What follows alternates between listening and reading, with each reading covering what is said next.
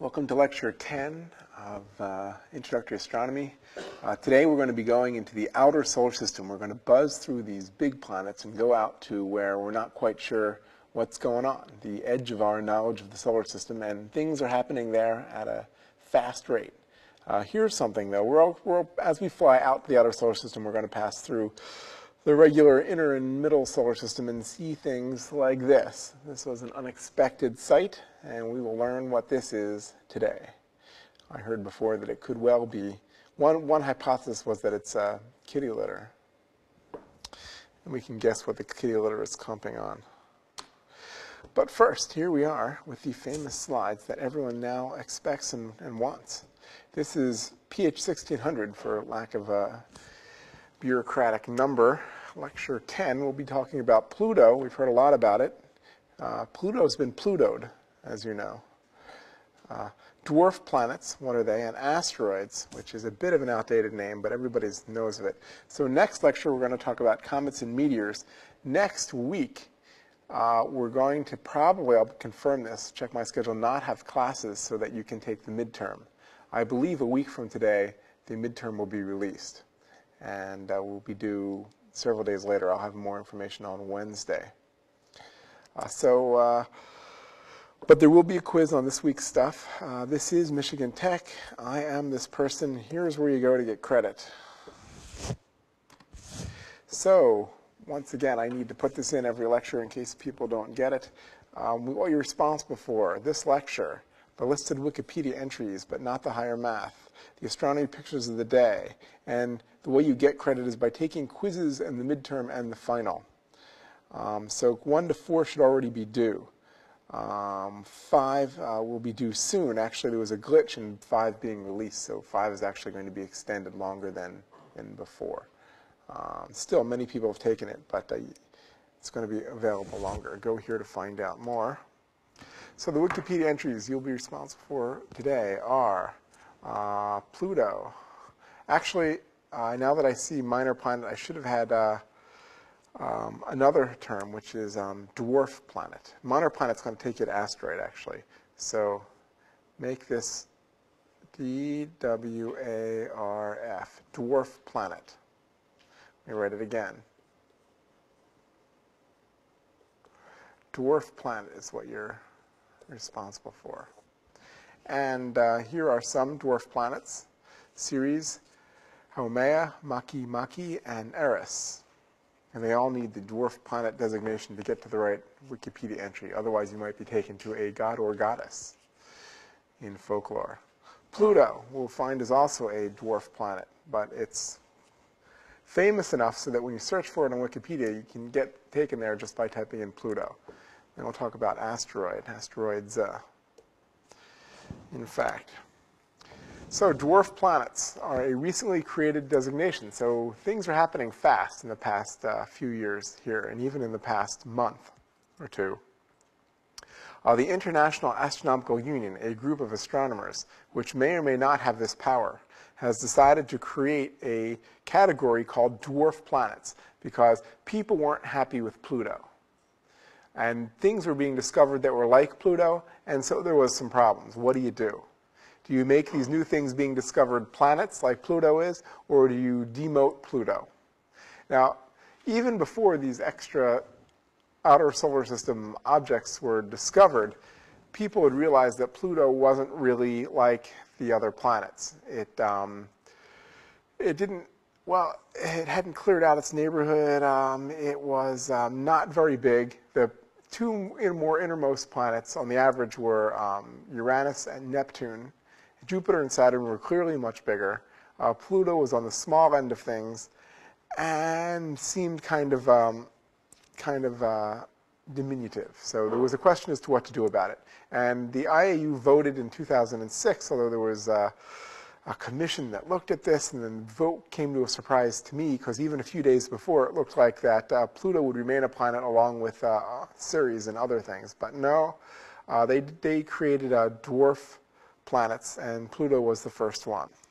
So the criterion they gave for the whole category of dwarf planets were that they had to be spherical. They had to be massive enough to pull themselves into something like a sphere. Uh, they had to orbit the sun. Uh, as opposed to orbiting another planet. So the Ganymede, which may be bigger than you know, some of these things, uh, doesn't get planet, uh, even though it's spherical, because it orbits Jupiter. Um, arguably, if you were to pull Jupiter away, Ganymede and the other Galilean satellites would still orbit the Sun, but they primarily orbit Jupiter. So if you were to pull the Sun away, the orbit of Ganymede wouldn't, wouldn't be much different. But if you were to pull Jupiter away, way different, but still around the Sun. Uh, another, this is a an debatable criterion, which is um, there's papers going back and forth. Uh, um, between astronomers as to whether this is an important one or not. Uh, it sweeps out the um, material in its orbit. So Jupiter, clearly a planet, doesn't have any Jupiter-sized objects orbiting the sun near it uh, because it's, it's deflected them all. Same with Saturn, but not true, one might say, of Pluto. So it wouldn't, it wouldn't class, wouldn't, um, oh, this is criteria for a planet, by the way, for a full planet. So uh, Pluto had a problem with the third one. It was mostly spherical. It orbited the sun, but it didn't sweep out its orbit.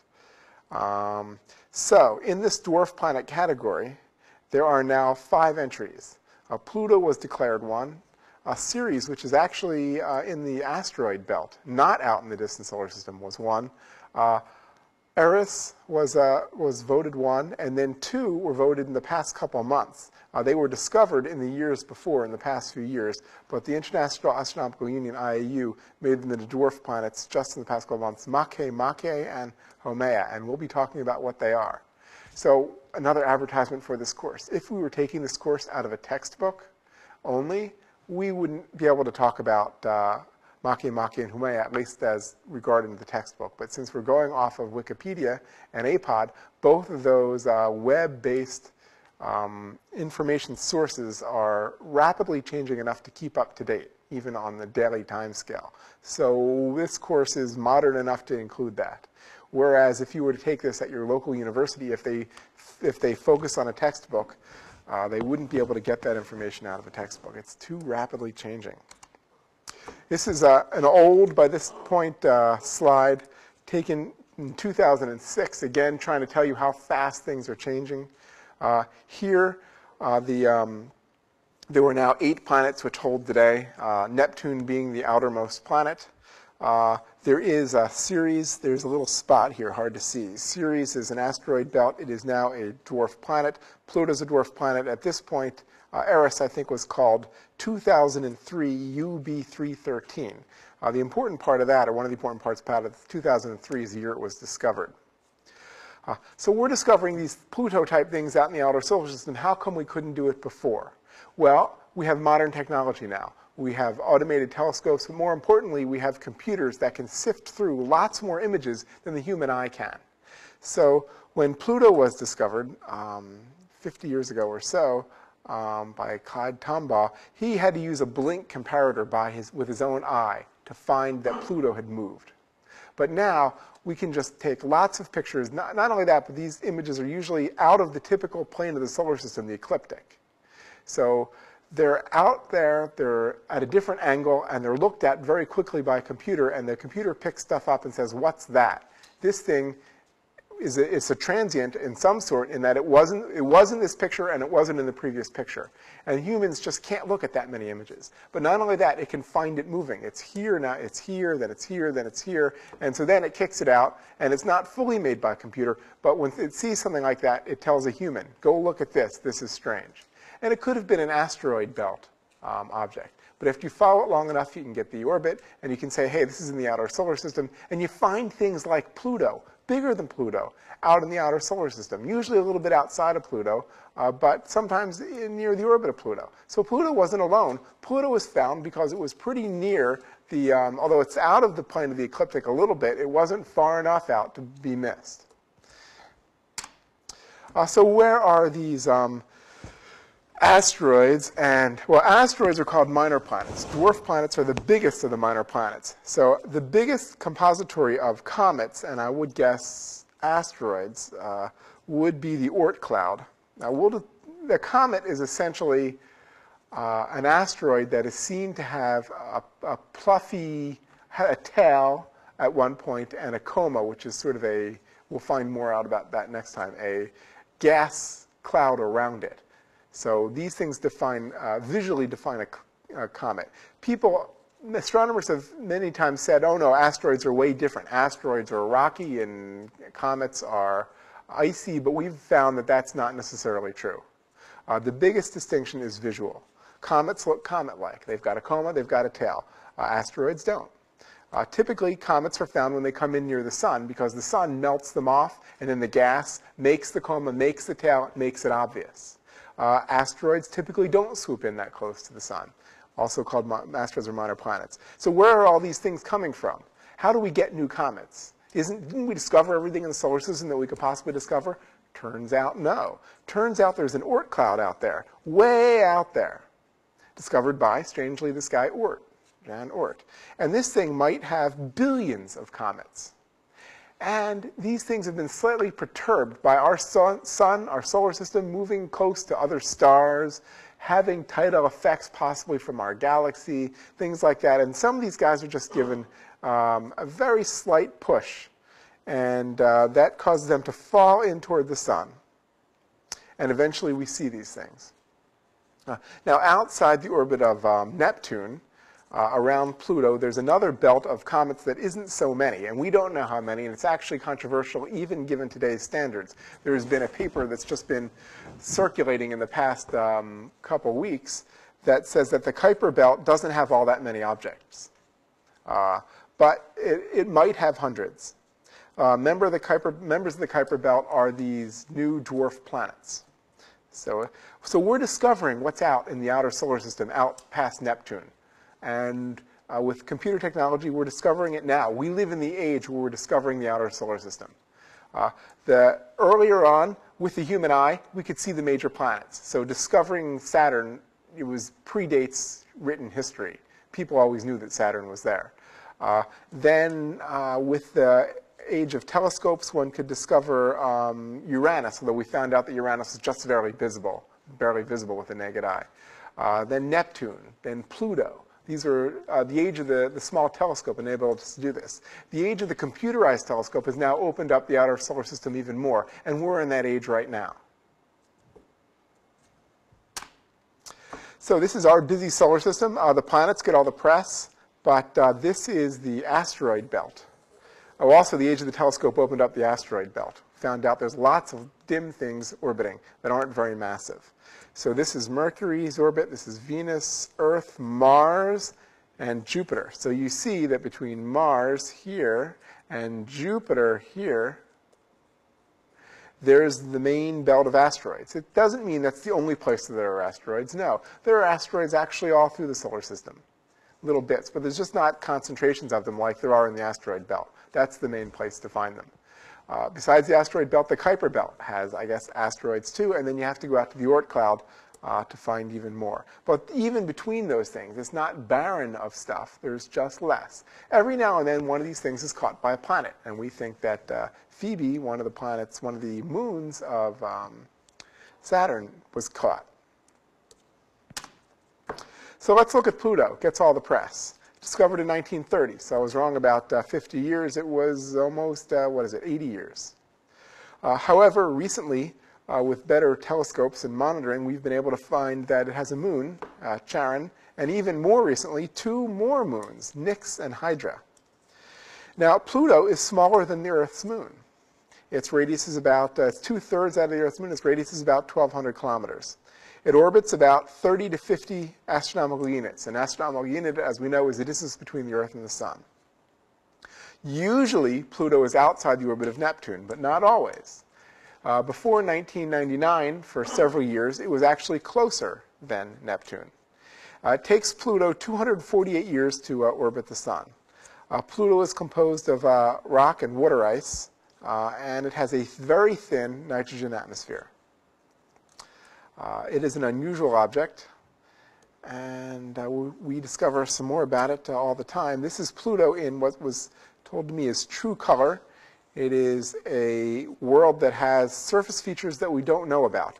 Because of the objects that used to be known as planets 10 years ago, the only one that has not had a spacecraft zip by it is Pluto. So we don't know. It's this fuzzy mask. These squares, they're pixelations. They're not real. Pluto doesn't have squares like that. That's just like our monitor showing us that.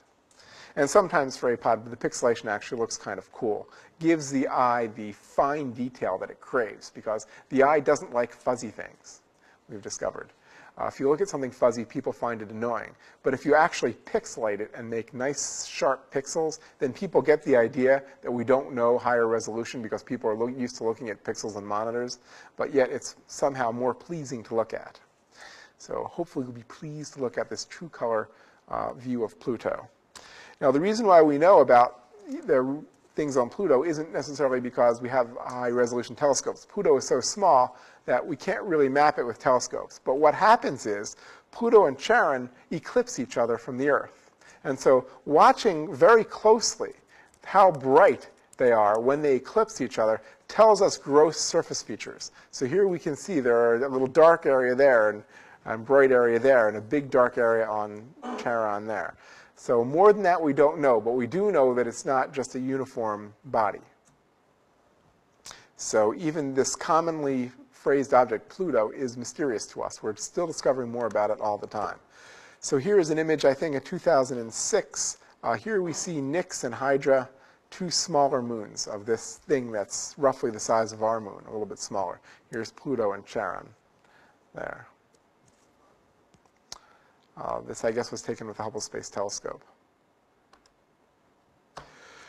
So let's go visit Pluto, the only thing that used to be known as a major planet that hasn't been visited. Uh, so here is the launch of the uh, New Horizons spacecraft, zipping up. Uh, became, I think, one of the fastest, if not the fastest, uh, man-made object relative uh, to the Earth, really zipping out there uh, toward Pluto. It's only going to buzz Pluto, though, and then it's going to go to even further Kuiper Belt objects. Which ones? Well, they're still under debate somewhat, but uh, so we don't know exactly which ones it'll be. Um, but this has already, even though it was launched in 2006, it has already buzzed Jupiter. Okay, I will now take a brief aside. Uh, it is useful to know uh, something more classically taught in astronomy classes, which doesn't have very beautiful pictures associated with it. It was discovered hundreds of years ago by Johannes Kepler, and they are known as Kepler's three laws. And they were very important for Newton discovering uh, his universal law of gravitation. So Kepler's three laws in this boring aside, and we will get back to fun stuff in a bit, is the first thing that Kepler noted was that uh, planets orbit in ellipses. So let's even do an aside for an aside. How is it that Kepler knew to do this? Was Kepler just so much smarter than everybody? Well, Kepler was one sharp guy, that's true. Uh, but he had something that is key to discovering things, and that is better data. So there was this guy, Tycho, who happened to have some have come into some money, and besides having a silver nose, went out to a planet and started measuring the positions of planets, and I mean the planets because they didn't really know about you know dwarf planets uh, back then. Uh, he started orbit measuring the positions of planets really, really accurately and recording them. And some people would consider this boring. But he was really good at it, and he had people who worked with him out on this island that were really good at it. And so one thing is that Kepler got access to this really accurate data. And with that really accurate data and being really clever, having those two big advantages, he was able to come up with his three laws. And one was he realized that planets don't orbit in circles or even circles on circles. They orbit in ellipses. And the sun is at one of the focuses, focus of this ellipse. So here's a picture of it. Here is a planet.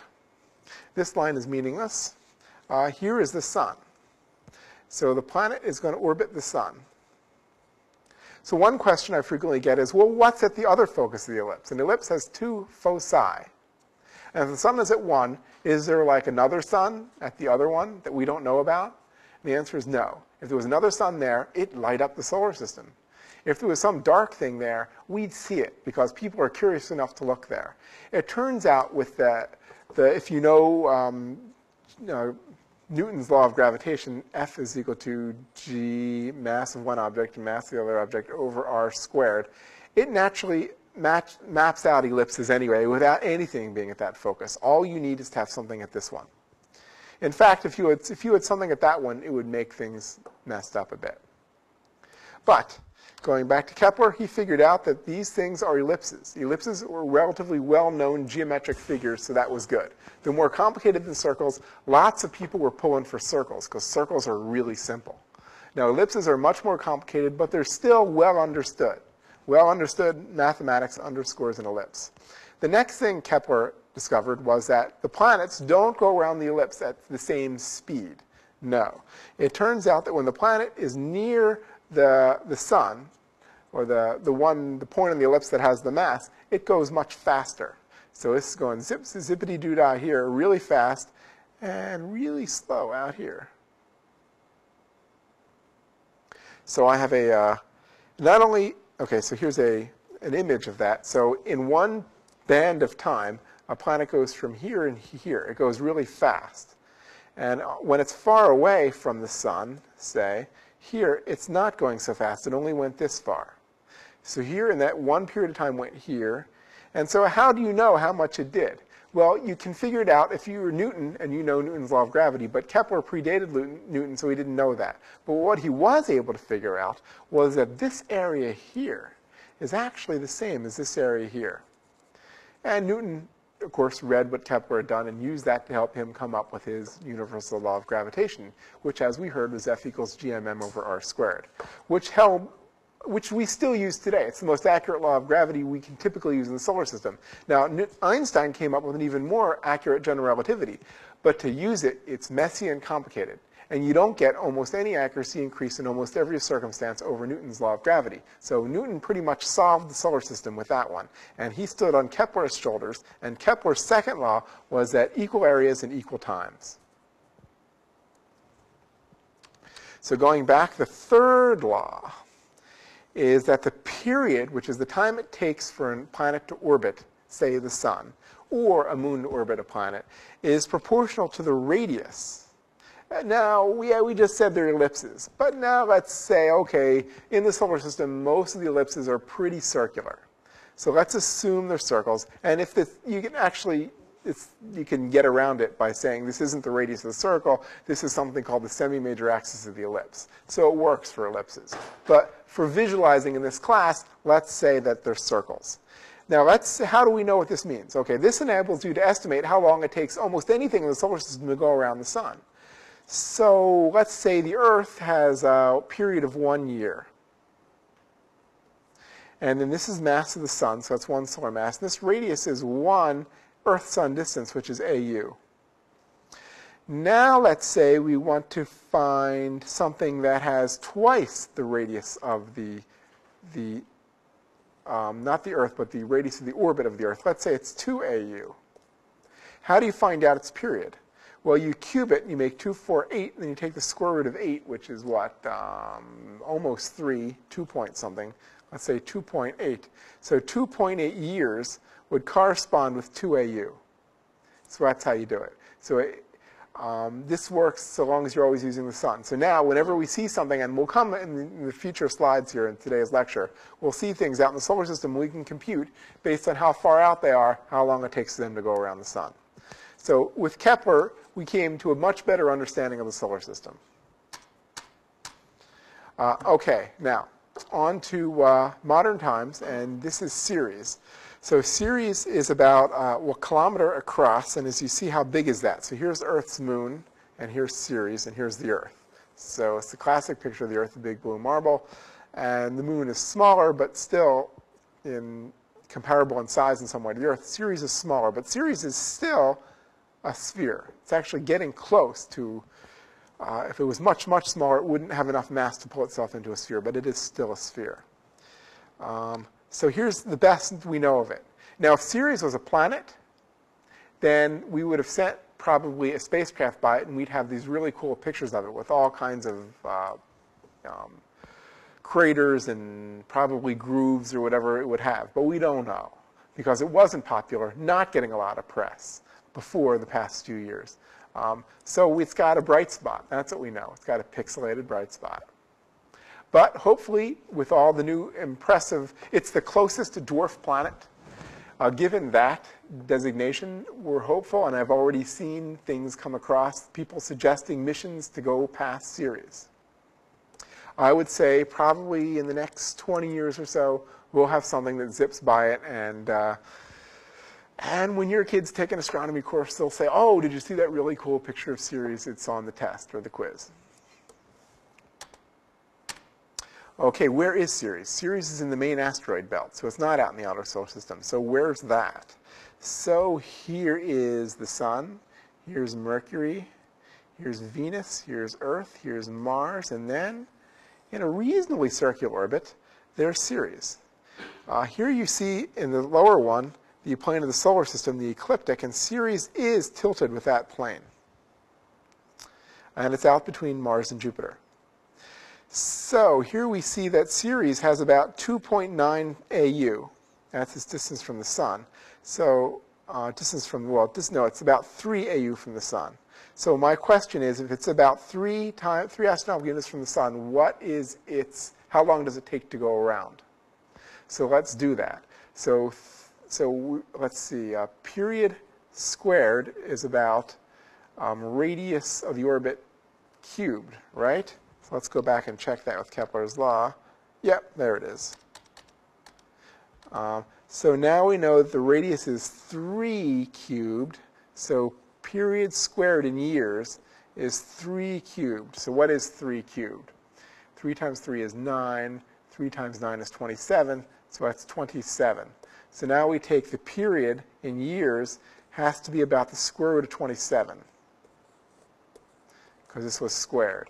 So let's see, 4 squared is 16, 5 squared is 25. So it's, um, it's uh, more than 5. Um, 6 squared is 36, so it's just more than 5. So actually, strangely enough, it's working out to 4.5 years. Um, I guess that might be due to the ellipticity, uh, the eccentricity. 3, 9, 27. So, okay, so it's, it's on the order. So I'm actually a little confused as to why it's not closer to 5, but we'll check into that. Uh, another large object in the asteroid belt uh, is uh, Vesta, but Vesta is not massive enough to be spherical. These are pictures taken by the Hubble Space Telescope. They're just fuzzy because we don't have, the Hubble Space Telescope doesn't have the resolution to do better. Now the James Webb Space Telescope that should be launched in a few years, it will probably do better than that but it will still be somewhat fuzzy. So what's going on in the outer solar system? It's been advertised. Here it is. So now the largest object in the outer solar system is now Eris. It has a moon, Dysnomia. The next largest object known currently in our solar system is Pluto, this famous thing that used to be a planet. And it's got a relatively large moon, Charon. Uh, most recently, there have been two more nominated, not nominated, designated as dwarf planets of the outer solar system, also known as trans-Neptunian objects, uh, because they're outside the orbit of uh, Neptune. Uh, one is Makemake, which is big enough to be a sphere, and the other is Haumea, which has a moon, but strangely enough, two moons, but um, it isn't a sphere, but we think it's got enough gravity so that perhaps if it wasn't spinning or something, it could have been a sphere. Um, it might be rotating. I actually am not exactly sure why. It's an ellipsoid of revolution, apparently. Now, there are four objects out there that are even smaller. Uh, so why Haumea is a ellipsoid is still a bit of a, a mystery, I think. Uh, four more objects at least, and more being discovered. Sedna, uh, Orcus, Quaoar, and Varuna. And two I've heard about relatively prominently, Sedna and Quaoar, uh, Orcus and Varuna, not well known. Uh, they appear to be spheres. They may be nominated into or promoted into dwarf planet status. But right now, these are the dwarf planets as of today. And uh, along with Ceres. And these are not yet. Not. Yet, in question mark dwarf planets. Now, the International Astronomical Union is not done debating what's a planet, so it's quite possible at their next General Assembly, which I believe comes up this summer, um, there might be a new vote. And what happens then?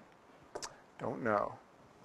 Could be that Pluto is reinstated and these could all become planets up there. Okay, so here is Eris, uh, the largest known. This is all we know about it in terms of what it really looks like. And here's its moon, Dysnomia, I think it is. Uh, so we're just seeing them, uh, you know, we we're not picking out features. We're just finding them on the sky at this point.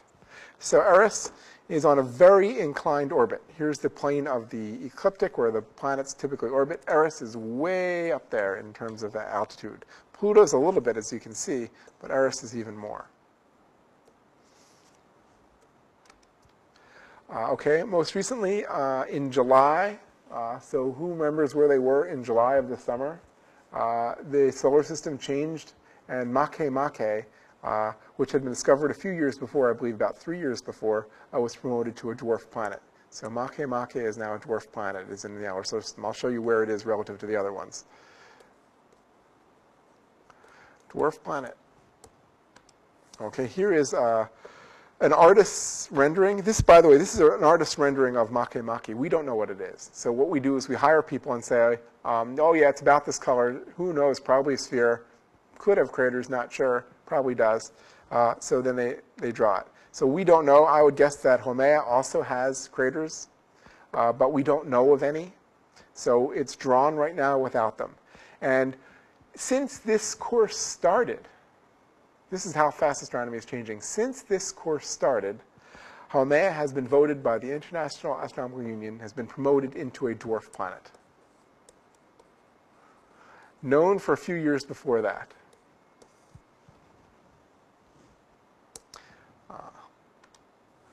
So here we see some orbits. Red is Pluto. Uh, I believe um, this is the plane of the ecliptic here, where all the rest of the planets orbit. So Pluto is out here, but we see that Haumea and Makemake, they, they're not that far. They sometimes go closer than, uh, than Pluto. So if Pluto was to be here, and Makemake was to be here, Makemake would be inside the orbit of Pluto, but more inclined. Uh, Haumea also sometimes comes inside that too. So uh, they're all three out in the outer solar system and takes long, you know, many decades for them to go around uh, uh the sun. So uh, here you see 1991, uh, it was on this side of the orbit, and in 2133, so in hundreds, more than 100 years, it'd be on this side of the orbit.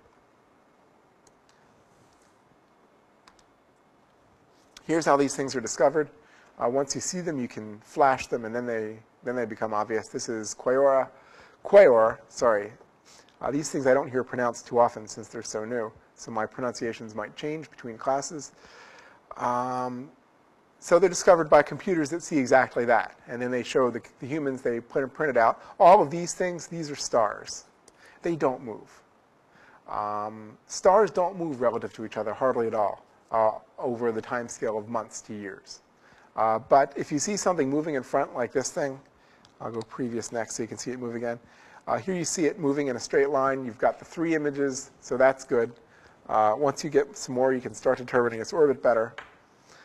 And uh, once you look at it over the time scale of a year, you can get parallax on it and get its distance. And it's not a star.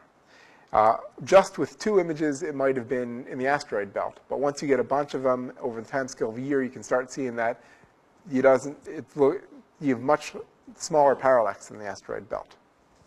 Okay, so let's talk about asteroids. As I said before, they're all over the solar system, uh, but most of them are in the asteroid belt between Mars and Jupiter. Uh, there's a visual distinction. They are confused with comets. There's a visual distinction in that, as I said earlier in this class, they show no tail or coma. Um, Ceres is an asteroid in the asteroid belt. They're also called minor planets. I find the term minor planet uninspiring, personally. Asteroid's cooler. It's also a better video game. Also, more people know um, the term asteroid than minor planet. And with dwarf planet coming and going and minor planet, I confuse them sometimes. So, rogue that I am, I will keep referring to them as asteroids. Um, Apollo asteroids are particularly interesting because they cross the orbit of the Earth. That means that maybe, maybe one day they could hit the Earth. Well, who cares? Well, something small hit the Earth in the Tunguska event in 1908. And the people who live nearby, they cared a lot. Because I don't know if anyone was killed, I don't think so, but like the sky lit up and trees were knocked down, and it was the equivalent of a major nuclear explosion. And that would be relatively minor, unless it hit a big city. The big problem with Earth-crossing asteroids is if they hit the Earth, and particularly if they hit um, the ocean near a seaboard where there's a city, then there could be a large tsunami, uh, huge waves that go and annoy the city, destroy the city. Uh, we've had a big tsunami about a few years ago. Did anyone see the video of that? It was a horrible tragedy. It wasn't fun. So in the Upper Peninsula of Michigan, however, were something to hit a major ocean, we'd be okay because we're in the middle of North America. No tsunami is going to come out into the middle of North America. If it hits Lake Superior, could be a problem, although Lake Superior isn't, doesn't have as much uh, water as an ocean. Um, but uh, cities on major seaboards, which are many of the major cities of the world, like New York, like Los Angeles in the United States, to name name a few. They might get hit by a tsunami and they could be damaged by it. So one of the major pushes in modern astronomy is to find the Earth crossing the Apollo asteroids and as many rocks as we can that would be a threat. And then what do we do? Well, just knowing about it would be useful. Because if we knew that something was going to hit near a seaboard, we could move the people away from the seaboard and they can come visit us here in Houghton.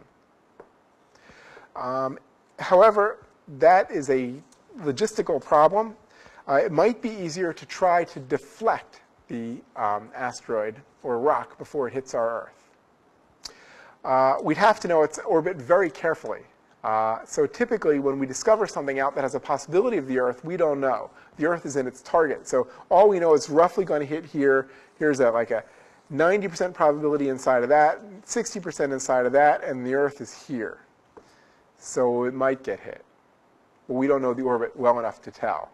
There's significant error. So once we determine that it's on possibly an Earth-crossing orbit, then we start you know, pulling out the big telescopes, looking at it as much as possible, trying to determine the orbit better and better. Uh, no known rock is on a collision course with Earth that could cause danger. There are some that we're still in the fuzzy possibilities of, but don't worry about it. Don't buy, don't buy asteroid insurance at this time because we're not, probably not going to get hit by any of the ones that we know. But it's the ones we don't know. It's the ones that don't, you don't know that get you, right? And that's the same true with these uh, rocks. So we need to discover more of them because we don't know all of the ones that hit the Earth. And there's a possibility that if we were to discover it enough and if we were to know its orbit well enough, we could deflect it. And there's there's people who, who, come up with clever ways of deflecting asteroids. One is to try to zap it with a laser. Now the laser is going to have relatively little power and is not going to be able to push the asteroid by itself. But if you could melt a hole in it, you could open a cavern where it outgasses, and then the gas that comes out of the cavern, maybe that will deflect it. And all you have to do is deflect it by a little bit if it's way far away from the Earth, and that's good. These movies with Bruce Willis in them, who I watch, I enjoy watching the movies and I enjoy watching Bruce Willis movies, but they're not realistic because if the asteroid is already a couple diameters of the Earth away, then we're going to get hit by it because the amount of energy taken to push it away at that point is tremendous. And we don't have that kind of energy, not even in nuclear weapons. And what's worse, if you blow up the nuclear weapons and it's only a couple of Earth radii away, you're going to make it into a fragmentation bomb right? You're, it's still going to hit. It's now going to hit lots more places. Maybe we would have been better off if it only hit one place. So it wasn't a good idea to set off the nuclear weapons on the, nu- on the asteroid when it's only a few Earth radii away. No, not a good idea. The best idea, it makes less good Hollywood, movies, is to try to deflect it when it's really, really far away in its orbit.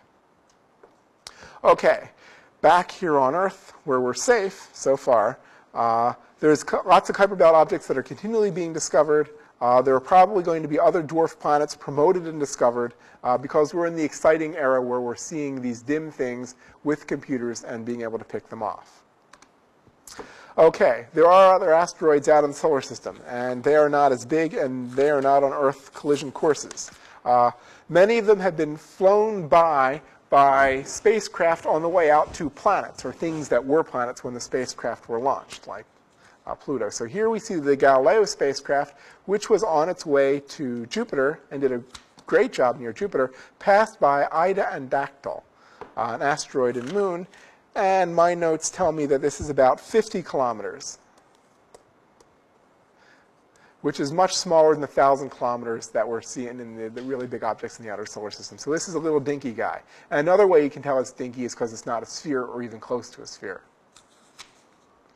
Um, has lots of um, craters on it, though. Uh, the next one, uh, Gaspra, uh, 20 kilometers. 20 kilometers there. Um, not really blue, just the colors are exaggerated here. Um, so these are thought to be essentially a large rock. This is a big rock. But not everything we see, well, here's another one. Here's another large rock. This one was seen by the NEAR spacecraft, which was on the way to Eros. And before it got there, it passed by Matilda. And it saw this one. Um, 60 kilometers across. So again, much smaller than the 1,000 kilometers of the outer solar system. Uh, so um, this is Eros, and uh, this is what it looked like. It was a bigger rock and uh, unusually shaped, not massive enough to form a sphere, huge craters, and we got lots of good images of Eros by the uh, NEAR Shoemaker spacecraft that uh, went up to it and even landed on it.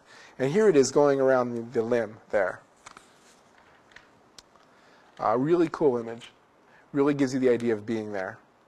And so NEAR Shoemaker sent back lots of images which were made into a movie. Here it is, uh, only I think uh, 60 kilometers away from, this is a color image, uh, so you can see what's called the regolith, which is the dirt and rocks that accumulate there, which turn out to be important because we're finding things now, as we saw from the, some of the moons of um, Saturn, that sometimes the regolith smooths over the craters.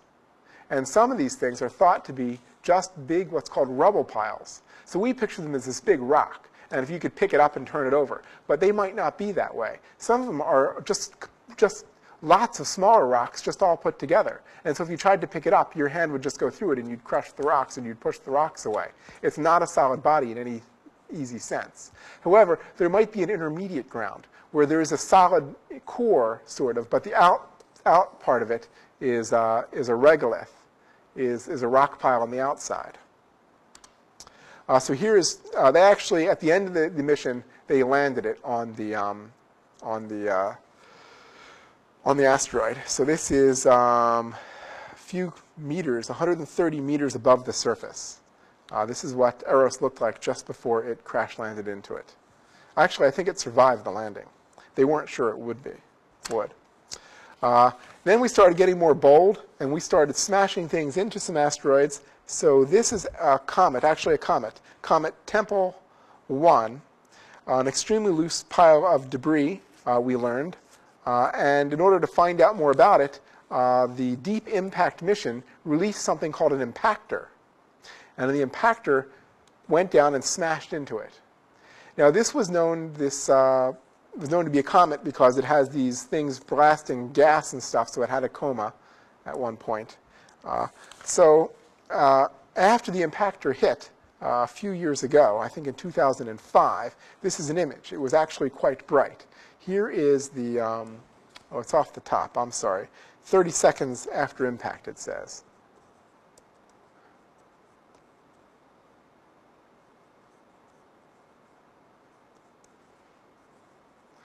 So you can read more about this in the astronomy picture of the day for July 5th, 2005.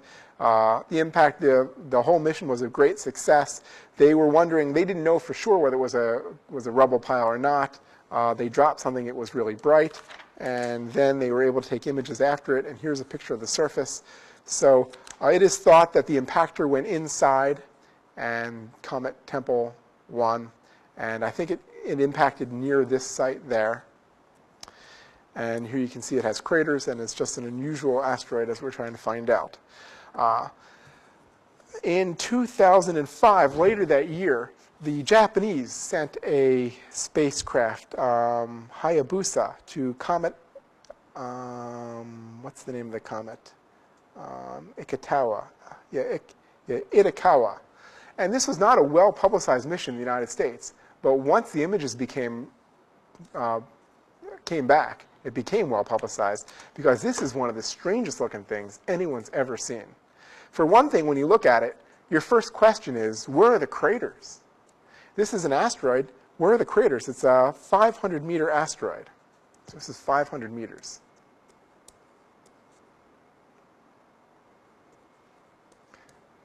So it's small. Well, there aren't easily visible craters. If you look at it closely, you can pick out crater-type features. It also has smooth sections. That's odd. It also has relatively smooth cuts in it. Not cuts in it, but it's, it's, it's smooth areas to it that aren't jagged. So this is thought now to be mostly a rubble pile held together by its own gravity. A really, really strange object. And so some of the things that make up the rubble piles you know, jut out. And sometimes it get hits by something that does leave something like a crater, but it's just stranger. Okay, uh, more recently, the even um, you know, since, well, the course almost started, uh, the Rosetta spacecraft uh, out uh, in the solar system uh, with uh, the European Space Agency, uh, which is headed toward a comet, comet, I'm going to get this name wrong, Churyumov-Gerasimenko. it should get to that comet in 2014. But along the way, they buzzed it past this asteroid Steins. And so it took pictures of it. and here's six images and I don't see a size for it. It's unusually shaped, it's like a diamond, and it happened just recently. So we're getting close-up pictures just recently of um, asteroids.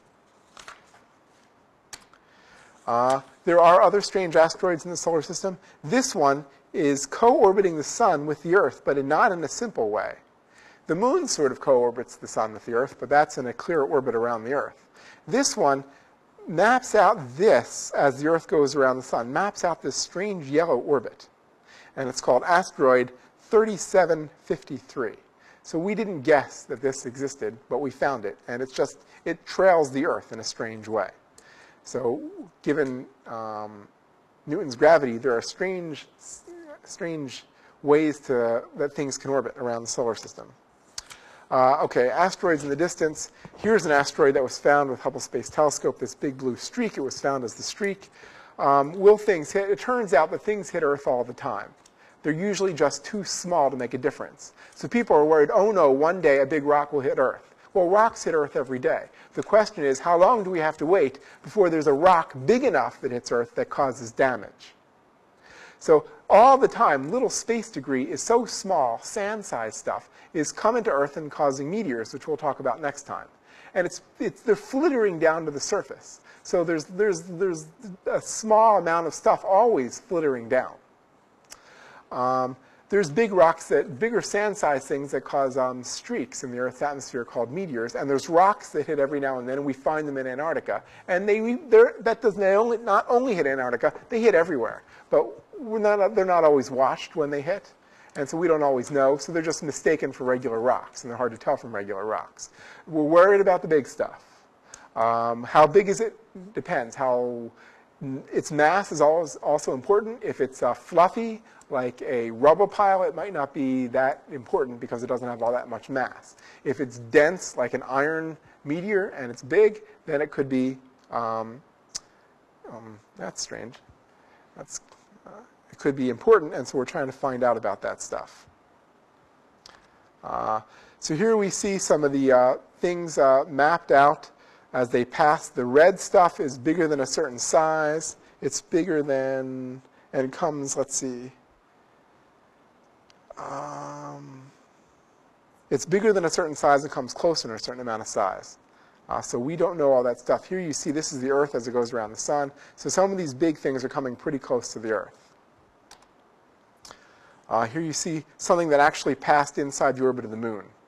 The moon, inside the orbit of the moon, is closer than, than we're sometimes comfortable with. Many of the things you hear that passed by the Earth, they were well outside the orbit of the moon. But when it gets inside the orbit, then we have to start taking it relatively seriously. This object here, SQ222, passed one quarter of the distance of the moon. Now, it takes light, uh, what? Um, light can orbit the Earth seven times in a second, and it takes light two seconds to get to the moon. So that shows you relatively how close the moon is. Uh, and the last one is the first one I showed you. This is another picture of asteroid Itokawa. It is just one strange looking thing with smooth spots and chunky rocks and, and geometric features on it. And it is still being studied. Uh, and uh, there's still the uh, there's still a mission to return stuff from there actually. Uh, they were going to have something bouncer on it, but that, uh, the Japanese, that part failed. But just getting close enough to get these amazing pictures is really, really amazing.